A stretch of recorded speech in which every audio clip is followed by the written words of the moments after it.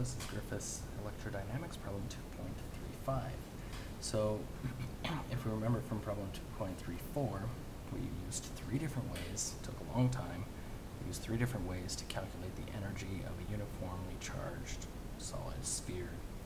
Radius big R and uh, total charge little q.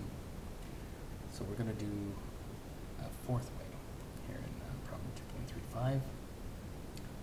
And uh, so just a, a refresher, I saved the last page of the previous problem, and basically this was the answer that we got. 3 fifths, 1 over 4 pi epsilon naught, q squared over big R. So this is what we're going to, to show the fourth way. Alright?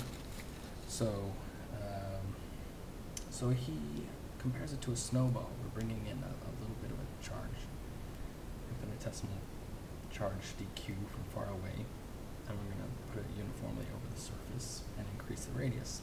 So how much work does it take to build up the radius by an infinitesimal amount of dr?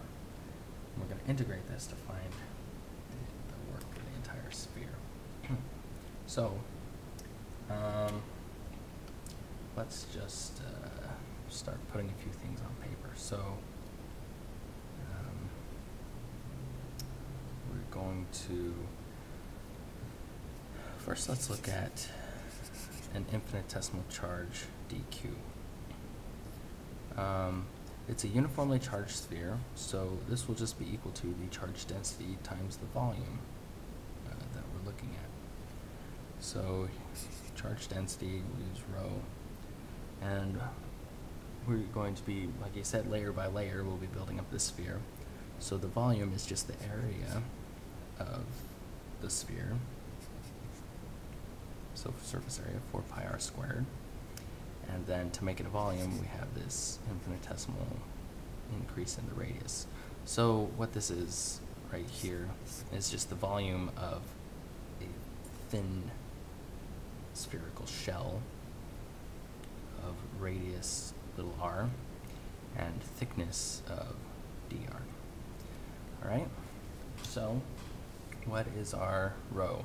Because he doesn't give us rho, or he doesn't put the problem in terms of rho, so he uses q. So let's uh, get back to q. So rho is just the charge over the volume. So here's the charge of the, the whole charge of the sphere over the total volume of the sphere, which is 4 thirds pi big R cubed.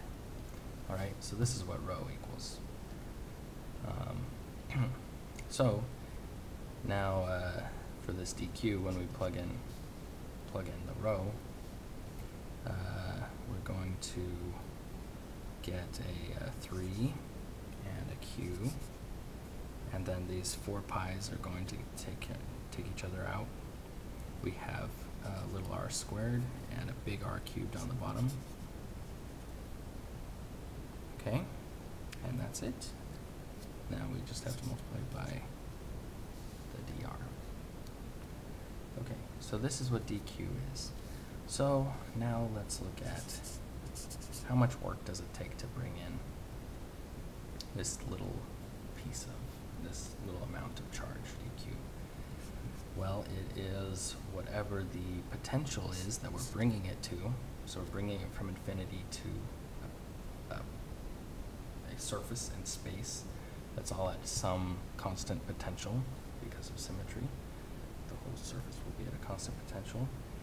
And we multiply that by the infinitesimal charge. Okay. So now, um, just real quick, let's figure out what V was. So we have, here's our infinitesimal charge, and uh, V, let's see, we are, let's see, what are we doing here? We have to know how much charge is there already, right? So let, let's write this out real quick.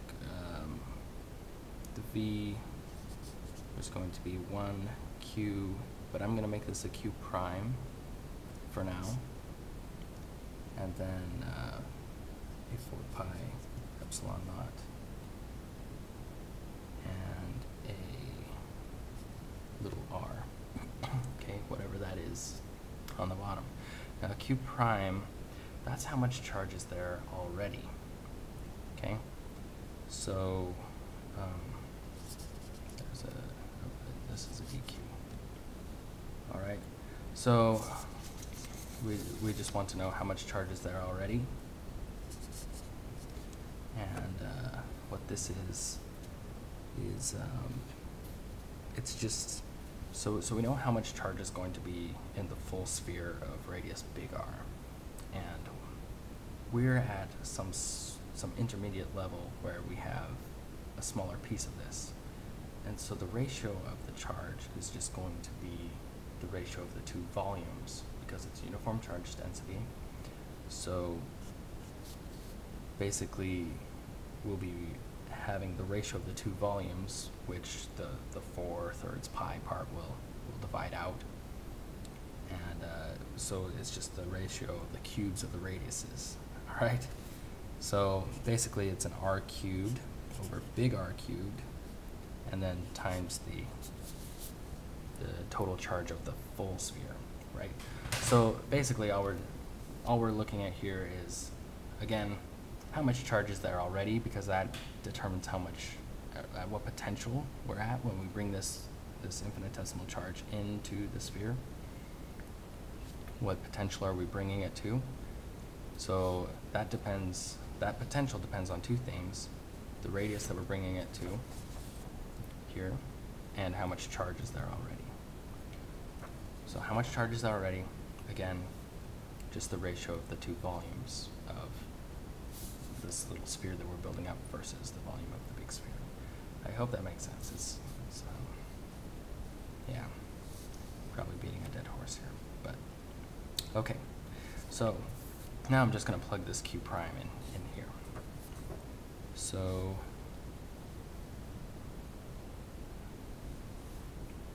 yeah, we, we can skip a six, all right. So we have a 1 over 4 pi epsilon naught from here. Then we are going to plug in r cubed over big R cubed times q. Okay, and then we have this 1 over r, and we have a dq. Okay, and Okay, we'll do this in another step. So 1 over 4 pi epsilon naught.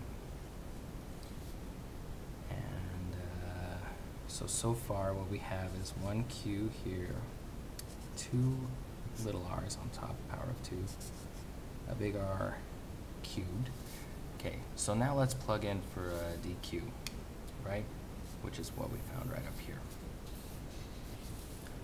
So here we'll have a 3 q little r squared over big R cubed dr. All right, let's get this into the final form uh, before integration, gather everything together. I'll leave the 1 over 4 pi epsilon naught out front. Um, we have a 3. We have q squared. We have r, uh, big R to the sixth. Okay, on the bottom. Now we just need the little r's. So that's a little r to the fourth power dr. Now we'll just integrate. So the work for this, building the sphere all the way out to radius big R. So we're going to integrate this from little r 0 out to little r equals big R. So the, the whole sphere out to the radius big R. Um, 1 over 4 pi epsilon naught. Uh, 3q squared over r to the sixth. And we have an r to the fourth dr. This is all constants and they can be taken out of the integral.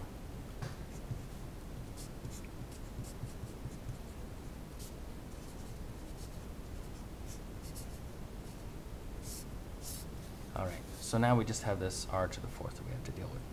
And again, our lower limit of integration is zero, so basically, and uh, this is all we have, so we'll just plug in for big R, but we have to raise to the fifth and divide by five. All right, so our final answer will have a three fifths. This is looking familiar, which is good. Three fifths, one over four pi epsilon naught from up here. Three fifths, one over four pi epsilon naught. We're going to divide by r to the fifth and get rid of all but one power of r on the bottom. And then we have a q squared on the top. Here's our final answer for this method, and if we compare it, so this is the last page of the, of, uh, problem two point three four, right? Three fifths, three fifths, one over four pi epsilon naught, matches up, q squared over big R. We're all good, we got the right answer. So, this was a fourth method of finding the total energy of the charge configuration, that uniformly charged uh, sphere with radius big R and total charge little q.